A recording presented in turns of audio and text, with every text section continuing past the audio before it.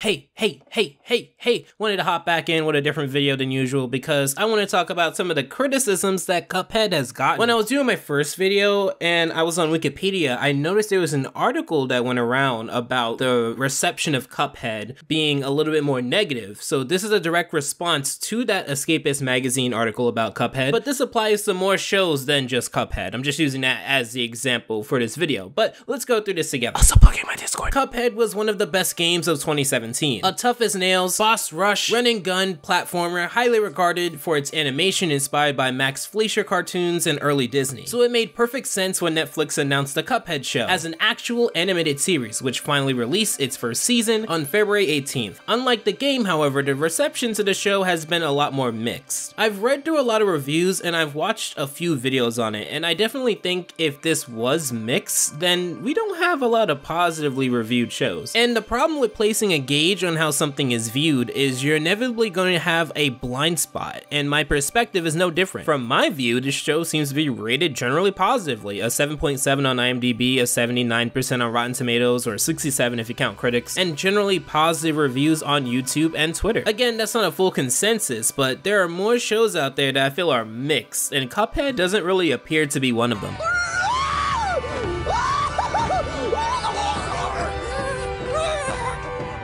Both fans and critics have been left disappointed by the series due to its lack of substance and short nature. I even did a double take when I saw the first season consisted of 12 episodes, yet each episode was about 12 minutes long. Many fans have said that the series only loosely follows the game structure and feels like a generic kid show. And you know what? That's okay. It's perfectly fine for the Cuphead show to target younger children and not adults or gamers who played the original game. In fact, that was probably the smartest decision that Netflix Animation, King Feature Syndicate, and Studio MDHR made about the show. I want to pick apart this piece here because it sets up the expectation of what the next paragraphs are going to be. There are many Netflix animated shows that are praised for their story and direction, as well as their short seasons being complemented by a longer episode duration. Hilda, Bojack, Disenchantment, Arcane, just to name a few, are longer than your average 12 minute cartoon, but that doesn't necessarily mean that short episodes should cause disappointment. No, the article says that it's due to the lack of substance and short nature, not lack of substance because of its short short nature, meaning that the short nature is a criticism, and an unfair one. There are plenty of wacky 12 minute shows I've seen throughout the years of me doing this that is really good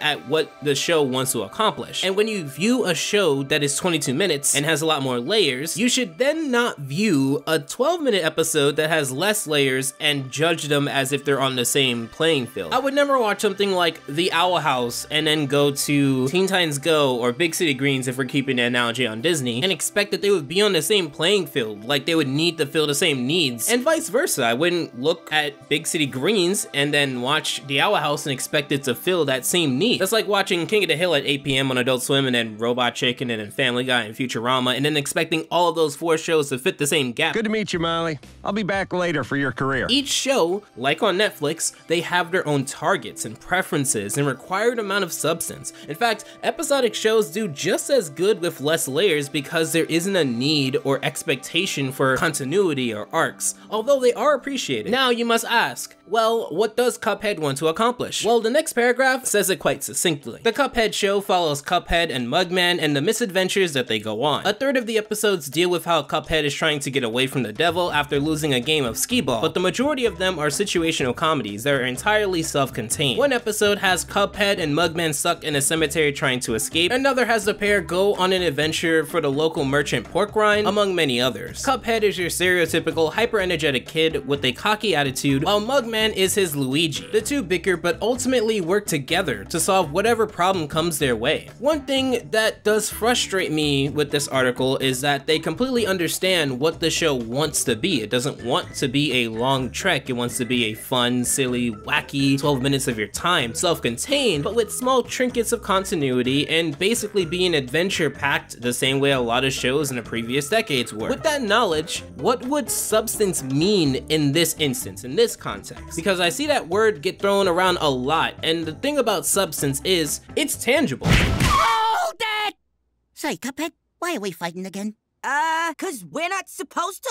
Right. To me, for the Cuphead show to have substance, it needs to have a coherent story, good enough art, good enough animation, characters you connect with, great jokes because it's a comedy. And in this case, references to the game because you're using the property of something that people understand to have come from a game. I'm personally not defining anything above that foundation as substance, but it would be appreciated. And I think Cuphead does a good job on all of those things. The story of them having these adventures in Inkwell Isles is coherent and understood in each of the 12 episodes so far. I connect with both Cuphead and Mugman and most recently Miss Chalice. And the art style and animation and music is more than good enough. It's actually great. And there's a lot of comedy and references that fans of the game would enjoy. We're, uh, orphans. Yeah, that's it, orphans. Wait, we're orphans? Oh, that's so sad!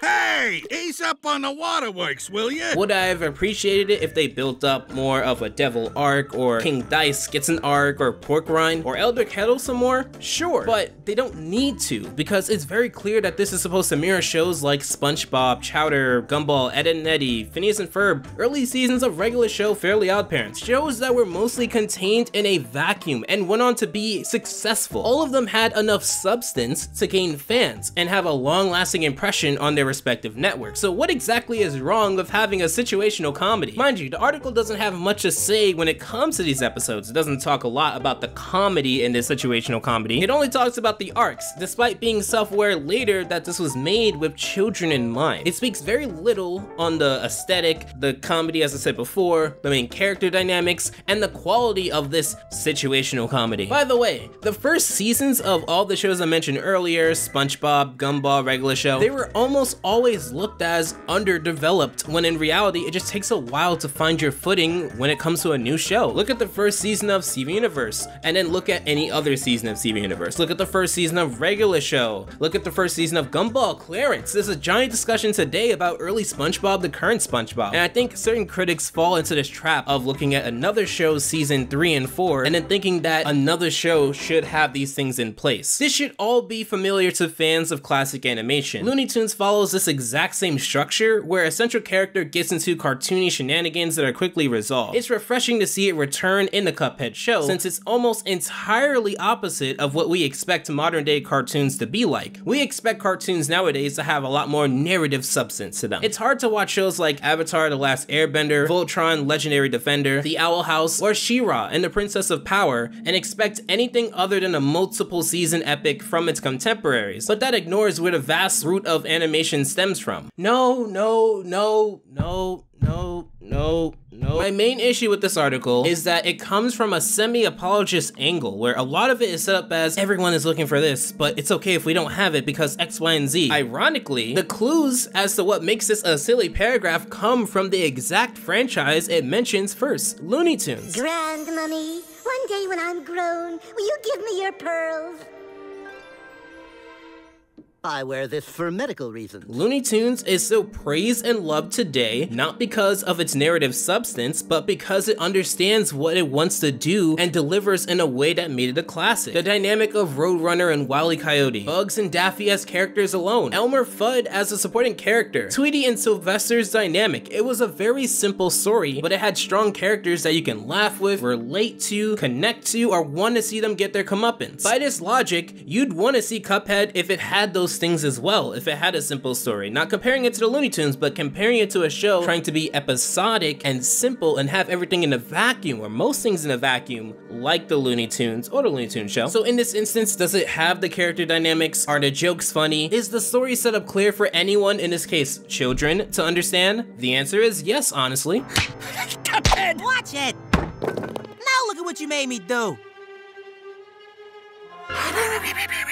I utterly despise this sentiment that it's expected for new shows to have the structure of an Avatar, Owl House, Universe, Adventure Time, Gravity Falls, She-Ra to be seen as a good animated show. I despise this idea that the good animation can only come from shows that build across multiple episodes or have character arcs or the darker second or third season. Story-based shows and episodic shows should not have the same expectations. That's like expecting the bass of a dubstep song to be the same as a rock song. You're gonna be disappointed and you're already misguided. This is how I know this article is misguided because you're putting shows with narrative substance as the shows to be expected when a lot of cartoonists, both making cartoons or developing cartoons and also cartoon fans, do enjoy when cartoon episodes are just self-contained in a vacuum. Where the pros of story-based shows are that you can get a better sense of connection with the characters because the stories are built purposefully to develop the characters over time and thus can provide a lot more depth. The pros of episodic based shows are that the development of these characters are not limited to an ongoing narrative and thus you can create a wider spectrum of development because each adventure can tell a different part of the character succinctly without needing to stick to an ongoing narrative. I think you multi-celled organisms are like so complex. The first season of The Owl House would do a great job at establishing Luz's need to become a witch and fulfill a dream, and it's met with the obstacles of Hexside, her social life starting from zero as she meets new faces, and the most wanted curse aspects of her teacher. Is it the curse? Maybe it is the curse. But then how pathetic are you? That you can't best me at my worst! However, while this allows for Luz and allure to be developed with more depth and substance, narrative substance, contrast this with the first season of Fairly Odd Parents, for example. There is no ongoing narrative, but it covers a wide variety of subjects that matter and would allow you to connect with the main characters, albeit in a thinner manner, but regardless, allows for you to get engrossed in the world just as much. We have Timmy learning about the rules in The Big Problem, Timmy's relationship with his best friends AJ and Chester, and Power Mad, I have three lives. Learning about the lore in Space Out, learning about Crash Nebula, learning about his teacher in Transparent, learning about his love for Trixie and A Wish Too Far, bonding with famous superhero Crimson Chin and Chin Up, and learning more about Vicky and Tiny Timmy, but also Dog's Day Afternoon, and then learning about Cosmo and Wanda specifically in a partnership. All of this happens in the first season, and it's actually a very good season because it shows you the world that you can get engrossed in. That's him? What's the big deal? He's just a smelly old goat. Who said that? How dare you minimize the importance of?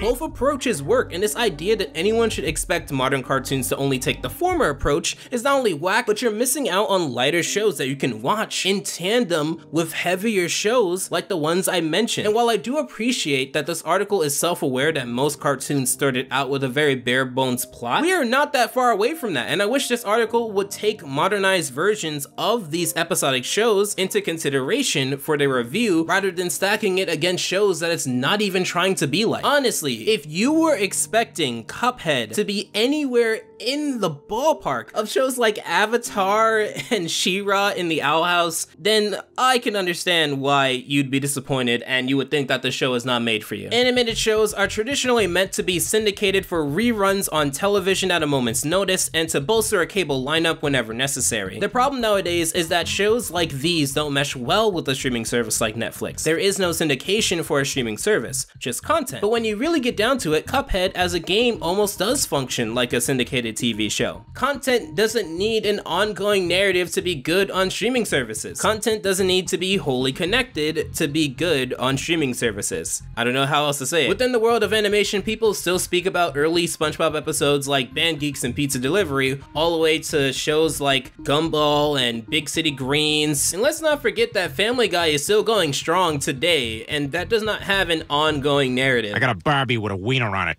Took a thumb from a G.I. Joe, put it on with super glue. Does the job.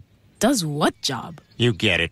But let's take this logic with other pieces of media. Mr. Beast is one of the biggest creators on the platform. He doesn't have an ongoing narrative in his videos. Yes, we have ongoing narratives on YouTube such as SMPs, for example, that were or are quite popular, but for every one of those, look at successful channels that have content that connects with people that doesn't have an ongoing narrative that's on a streaming service.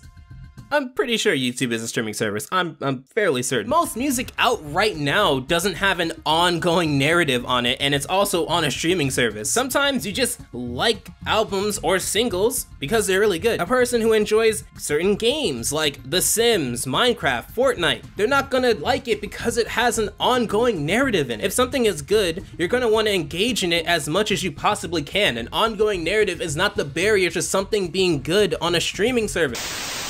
Post-editing Jay here. I just wanted to clear up any confusion before it starts. There are a lot of points in my video where I am using the words ongoing narrative and narrative substance interchangeably, and I feel like in this example here, it may be a little bit confusing because there is a lot of narrative substance in a lot of the media that I said here. So let me be clear. I am only using ongoing narrative and narrative substance interchangeably because the article heavily implies that the shows that are story driven, continuity driven, and have an ongoing narrative are the shows that we, as animation fans, look forward to because that is what's considered narrative substance, not shows that have self-contained stories within a vacuum that isn't necessarily considered narrative substance as per what this article both implies and gives no examples towards. This means that I am not alleging that there isn't any narrative substance in games such as The Sims and Minecraft where people do inject their own personal stories and narratives into the games to make it fun. What I'm saying, especially in these examples, is that you do not need another installment of this particular game to understand the next game. You do not need to play The Sims 3 to understand The Sims 4. You do not need to know the previous Minecraft update to understand the next Minecraft update. So do keep that in mind. I'm only using these words interchangeably because that is what the article implies.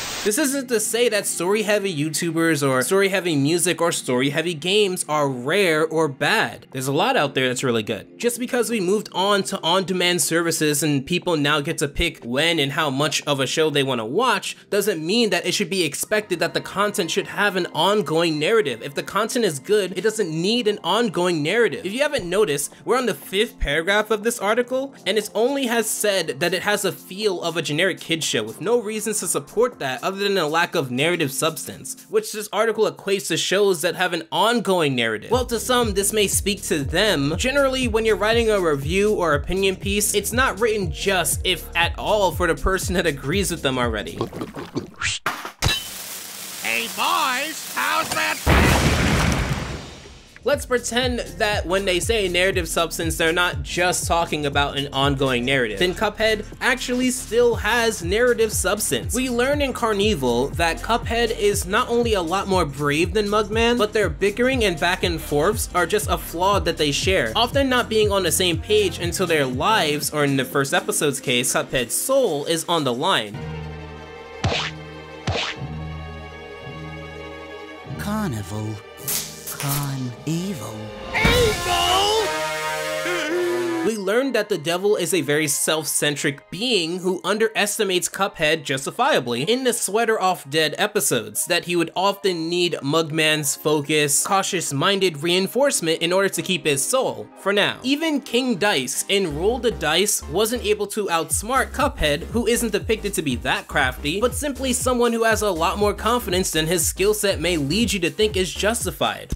My name is Cuphead. I like roller coasters and hot dogs and tilt-a-whirl and hot dogs and flying swings and hot dogs and throwing up in roller coasters in that order. So in addition to building on Cuphead's empty-cupped bravado, Mugman's wacky but cautious support, the devil's arrogant vanity, and King Dice's empty promises, that's called narrative substance. Just because King Dice didn't get an arc and Mugman and Cuphead didn't spend the next 5 to 6 episodes building up the devil doesn't mean that it lacks narrative substance. It has less depth than shows like The Owl House, Avatar, and Yes, but that does not take away from it being engaging or having substance. It's an episodic show and a modern take on that, and this allows for other adventures to be told in tandem with the narrative that Cuphead's soul belongs to the devil. Although these episodes, with the exception of Sweater Off Dead, which is a two-part episode, can be viewed in a vacuum, there's already a narrative being built with Cuphead and the devil that I will get to when the time comes. Each stage is entirely self-contained, and you can fight the brutal bosses in largely whatever order you like. Likewise, you can go back to them whenever you like to be entertained. Indeed, beyond their imaginative designs, the bosses have no character to them whatsoever except King Dice and the Devil, and attempting to give them any personality other than bad guy wouldn't make sense. Why would you devote time to flesh out a boss's history if you're never going to think about them once you beat them? The bosses are perfect for syndication. I'm assuming what they're referring to when speaking about this is the episodes Baby Bottle, Ribby and Croaks, and Root Packed, episodes that had a one-shot antagonist. This article seems to not understand that minor villains can be a useful tool to an episodic show. Here's the thing, I'm not gonna say that these antagonists have depth compared to the Devil and King Dice, even though King Dice technically only had one episode, so I'm not sure what benchmark this article is using here. But the way that episodic shows work, because each episode is in a vacuum, the antagonists are going to be thinner by comparison to shows that may build them up across episodes or seasons. Ah! Bar's on fire! You saying it's my fault? So what if I am?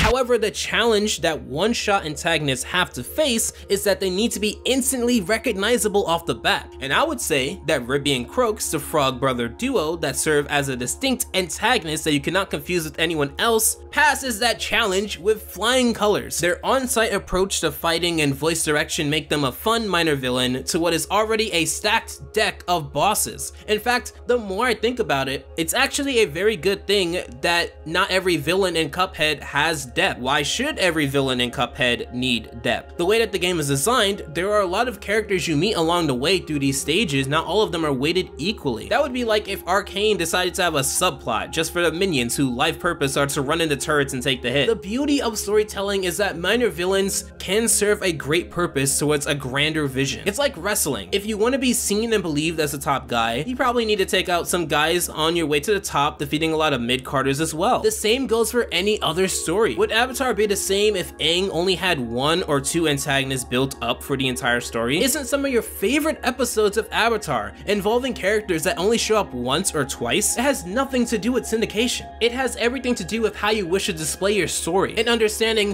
what focus means. The Owl House has some decent one-time antagonists that have no contribution to the main story. This article tries to understand this point, but when you consider their original stance on it being a generic kids show, I personally see this more as misguided than self-aware. But even if I did have issues with how the show implements its references and callbacks, it doesn't really matter because I'm not the target audience. The Cuphead show is a series aimed at kids 7 and up. It's a children's show. To criticize it harshly for not being like the game or being aimed at a younger audience is missing the point. In fact, I'm pretty sure that most people who watch the Cuphead show will have never played the game it's directly based on. Kids will discover a bouncy, energetic cartoon and will probably find what's here incredibly entertaining.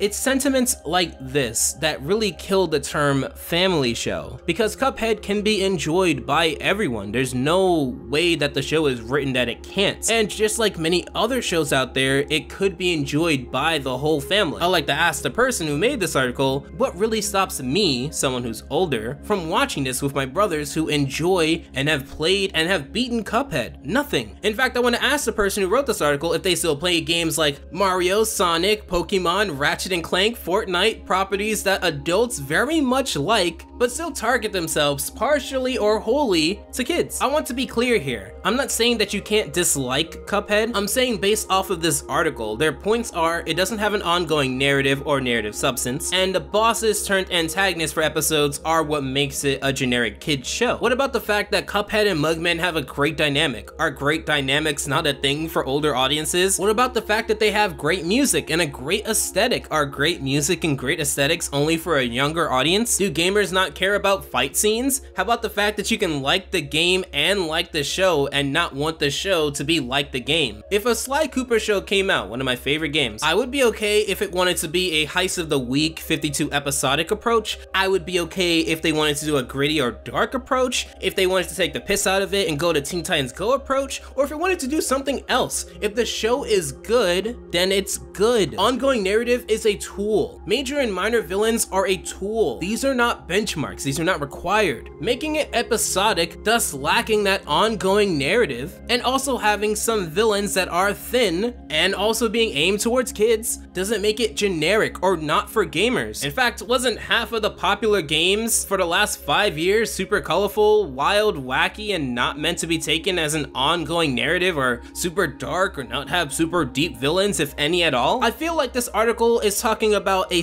very, very specific kind of gamer. In an ironic sense of trying to be self-aware, it assumes that gamers fit a specific enough mold to base an entire article on it, right after saying that they shouldn't be the voice to determine if it's enjoyable, only then to continue to try to cover their tracks. If this is the stance you're gonna take, you also shouldn't be the determining factor on what gamers like because it's far too broad to assume that Cuphead isn't made for any of them. Because that's not just the title of this, that is the premise of this entire article. That is the theme that keeps getting reinforced with each paragraph, it's not just a title. The person who made this article meant that stance. More importantly, a parent who may be interested in showing their child this will find that there aren't any negative messages here either. Cuphead is a mischievous little scamp, sure, but when he makes a mistake, he does learn his lesson by the end of the episode. The comedy is solid and it doesn't differ too much from classic Looney Tunes or even 90s Nickelodeon or Cartoon Network shows. The second to last paragraph and you finally get around to the comedy and you say that it's solid. Why is it solid? Do you like the characters? Do you like the music? Is the animation really good? Is the art style really good? The Cuphead show isn't a revolutionary feat of animation or a grand narrative journey, but it's not trying to be. It's just trying to be an entertaining kids show. And it stands out from the crowd not only with its retro inspired animation, but also its retro production style. Adults can enjoy it and I certainly had some fun with it, but I'm not the target audience and that's okay. This isn't a show that will appeal to hardcore gamers like maybe Halo will, and that's also okay. I love the original game and the series, while not perfect, is good enough and will tide me over until the delicious last course releases in June. Ah, it only took you until the very last paragraph to say that it's trying to be an entertaining kid show and the entire article is explaining everything except why it's not an entertaining kid show. It's explaining everything besides that. It's actually incredibly hilarious because you're self-aware that the target audience for your website is hardcore gamers. So you talk about things like villains and narratives when you are way too self-aware that it's not for just hardcore gamers. They can enjoy it, but it's primarily for kids. And you put the standard on hardcore gamers anyway because that's what your website has. That's insane to me.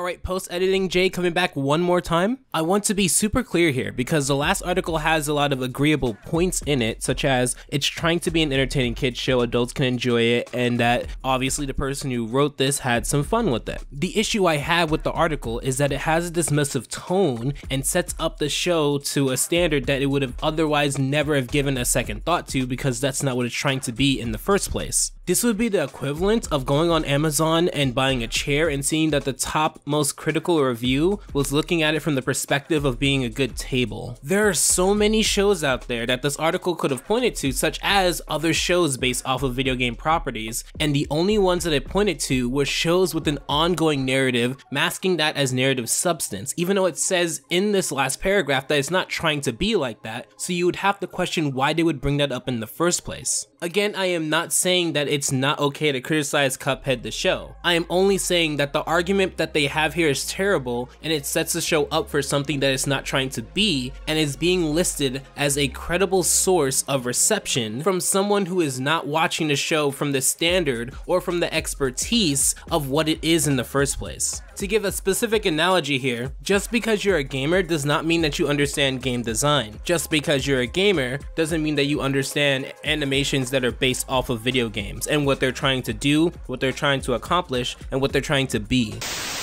While in a vacuum, it has a self-aware sense of trying to be fair, and I do appreciate the article for at least trying to be fair. Here's why this is actually harmful. While I understand that The Escapist brands itself as a video game magazine website, this is being used as an actual source because Wikipedia and a lot of other websites like it prefer old media as the primary source of reception. Those places don't care that the animation community, like myself, get thousands, sometimes even hundreds hundreds of thousands of views on these shows and give our reviews on it, but that's not even the point. I would speculate that this person does not watch any animation if they believe that the best comparison to make to Cuphead is Looney Tunes and 90s Nickelodeon and Cartoon Network shows. Mao Mao, It's Pony, Middlemost Post, Johnny Test, Gumball, Mighty Magiswords, Fanboy and Chum Chum, SpongeBob, Rise of the TMNT, Bunsen is a Beast, Robot and Monster, Teen Titans Go, Molly McGee, Victor and Valentino, OK K.O., Ben 10, Big City Greens, Chowder, Flapjack, Phineas and Ferb, all of these shows